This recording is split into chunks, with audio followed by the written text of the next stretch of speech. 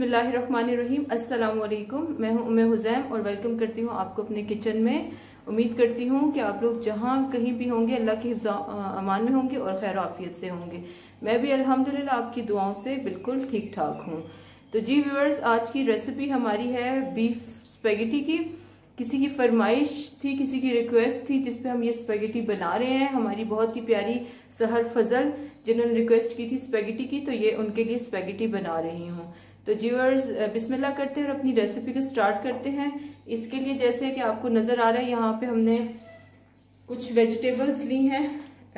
एक मैंने कैरेट ली है, जिसको मैंने स्लाइसिस में कट कर लिया है, कैबेज एक ली थी, यानी कि बंद गोभी, उसको मैंने हाफ़ लिया है और हाफ़ मैंने रख दिया है हाफ़ लेके उसको कट कर लिया है। एक मैंने मीडियम साइज़ का प्याज लिया है, जिसको मैंने स्लाइसिस में कट कर लिया है, और एक ही साथ मैंने शिमला मिर्च, यानी कि कैप्सिकम लिया है, उसको भी मैंने इस तरह से स्लाइसिस में कट कर लिया है। बहुत ही सिंपल और ईजी चीज़ों के साथ बना रही हूँ ताकि मतलब इजीली जो आपको घर में अवेलेबल हो, कोई इसमें ऐसी कोई मुश्किल चीज़ नहीं है। साथ ही हमें चाहिए होगा सोया सॉस चिली सॉस और विनेगर यानी कि सिरका। तो ये चीज़ें हम लेंगे अकॉर्डिंग टू टेस्ट यानी टू टू टेबल स्पून हमें ऑलमोस्ट चाहिए होंगी इसमें। साथ ही मैंने एक लहसन ले लिया, जो पूरा एक लहसन होता है, उसको मैंने जो है, छील के अच्छी तरह चॉप कर लिया है। हरी मिर्चें लिए तीन चार, उनको मैंने इस तरह से कट कर लिया है। साथ ही यहाँ पे चिली फ्लेक्स जो हमें चाहिए होंगी, जीरा मेरे पास भुना हुआ है, वो मैंने लिया है। नमक चाहिए होगा और ब्लैक पेपर चाहिए होगा। ये मैंने यहाँ पे बीफ लिया जिसको मैंने बॉईल करके रख लिया। अब मैं इसको थोड़ा सा आ, कट कर लूँगी यानी क्यूब्स की शक्ल में और फिर मैं इसको इसमें यूज़ करूँगी।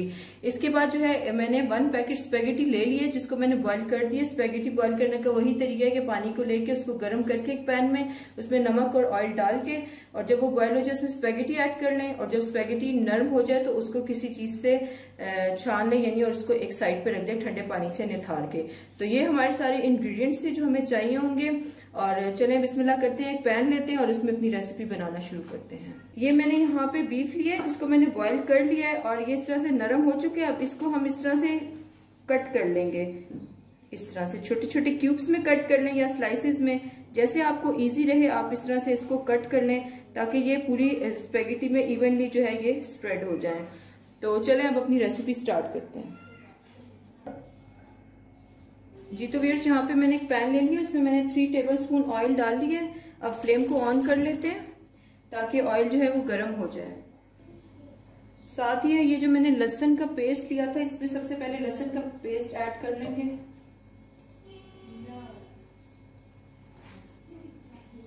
अब हम इसको थोड़ा सा फ्राई कर लेंगे।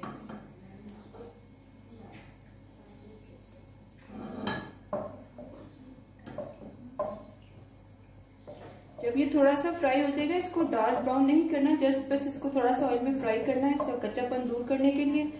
उसके बाद ये जो गोश्त है, इसको मैंने जो है क्यूब्स में कट कर लिया है। उसके बाद हम इसमें गोश्त को ऐड कर लेंगे और इसको थोड़ा सा फ्राई कर लेंगे ताकि ऑयल की जो खुशबू है लहसन की वो गोश्त में अच्छी तरह से आ जाए। बॉयल तो हम इसको ऑलरेडी कर चुके हैं, लेकिन थोड़ा सा इसको लहसन के साथ हम फ्राई कर लेंगे। ये देखें ऑयल गर्म हो गया और लहसन जो है ये फ्राई करना जी, लहसन जब इस तरह से हो जाए तो ये आप गोश्त ले लें, जो इसको आप इसमें ऐड कर दें। अब हम इसको बस एक मिनट इसमें ज़रा सा हल्का सा फ्राई कर लेंगे, क्योंकि ये हमारा अच्छी तरह से सॉफ्ट और टेंडर है। इसको कोई गलाने की या उसकी ज़रूरत नहीं है जस्ट आपको इस लहसन और ऑयल के साथ इसको थोड़ा सा फ्राई करना। है एक दो मिनट बस इसको हाई फ्लेम पे कर लेते हैं, उसके बाद हम इसमें अपनी वेजिटेबल्स ऐड करेंगे।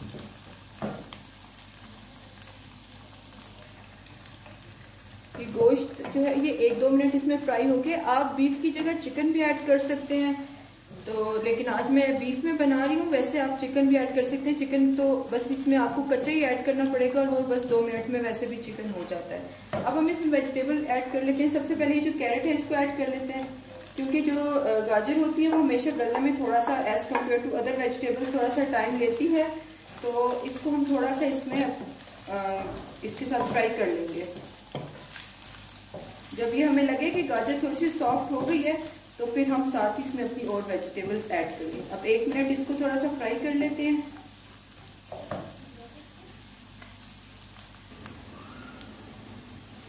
जी, ये जो कैरेट है ये भी अच्छी से हमारी हो गई इसको भी मिनट होके अब हम ये इसमें प्याज जो इसको ऐड कर लेते हैं। साथ ही ये जो कैबेज हमने काटी थी, इसको भी, यानी सारी वेजिटेबल्स जो है, इसमें ऐड कर लेते हैं। और साथ ही ये कैप्सिकम जो है, यानी कि शिमला मिर्च, इसको भी साथ ही ऐड करेंगे।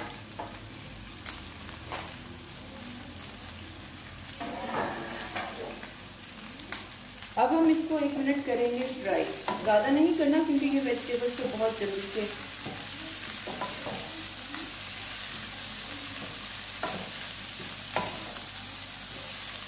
अब साथ ही हम इसमें यहाँ पे अपने स्पाइसेस ऐड कर लेते हैं।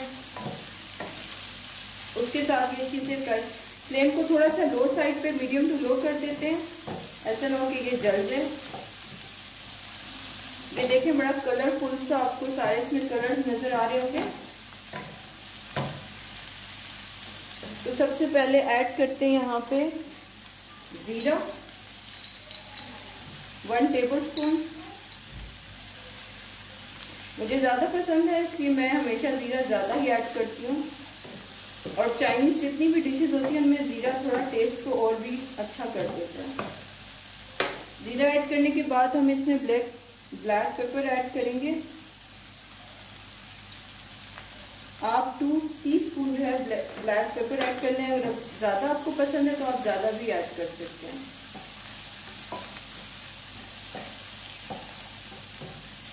साथ ही ये चिली फ्लेक्स है। इसको हम वन टीस्पून ऐड करेंगे कि बहुत स्पाइसी ना हो जाए।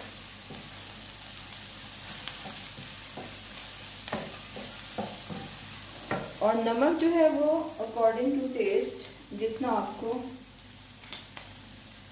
चाहिए। चले अब इसको एक मिनट यहाँ पे ज़रा फ्राई कर लेते हैं। मिसालों के साथ अच्छी तरह से। इसको हमने एक दो मिनट अच्छे से फ्राई कर ली है। अब हम इसमें ऐड करेंगे two tablespoon soya sauce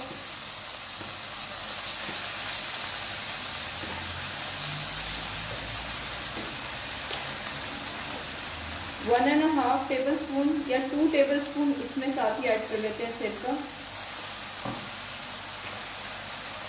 और टू टेबल स्पून हम यहाँ पे चिली सॉस ऐड करें।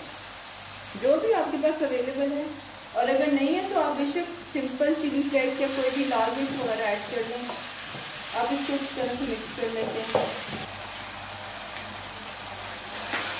ये भी अच्छे से हो गया। अब ये जो हमने ग्रीन चिलीज कट की थी अब ये इसमें ऐड कर लेते हैं।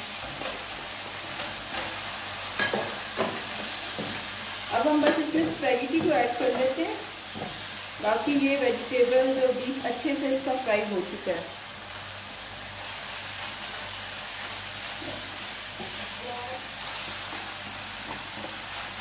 अब स्पैगेटी और वेजिटेबल्स को अच्छे से आप मिक्स कर लें। जी तो वेयर्स ये देखिए हमारी स्पेगेटी बिल्कुल रेडी हो गई है और माशाल्लाह से सही कलरफुल सी और इसमें सारे वेजिटेबल के आपको कलर नज़र आ रहे होंगे। बीफ पी कैबेज सारा कुछ। तो चलें, अब ये रेडी हो गई है। अब मैं आपको इसको डिश आउट करके दिखाती हूँ। जी तो वीर्स ये देखिए हमारी बीफ स्पेगेटी जो है बिल्कुल इजी और सिंपल रेसिपी के साथ बन के बिल्कुल रेडी हो गई और माशाल्लाह से बिल्कुल सही तरीके से पक गई है। आप इस रेसिपी को ज़रूर ट्राई कीजिएगा और मुझे फीडबैक ज़रूर दीजिएगा। जिन्होंने अभी तक मेरे चैनल को सब्सक्राइब नहीं किया, उनसे रिक्वेस्ट है प्लीज़ जो नए हैं, मेरे चैनल को सब्सक्राइब करें, मेरी वीडियोस को लाइक करें और अपने फ्रेंड्स एंड फैमिली के साथ शेयर करें। और अपनी दुआओं में याद रखें और स्पेगेटी को ज़रूर ट्राई कीजिएगा। और जहाँ भी आप रहें, खुश रहें, आबाद रहें और अपने प्यारों के करीब रहें। तो इनशाला एक और इजी और सिंपल रेसिपी के साथ फिर मिलते हैं। फ़ी अमान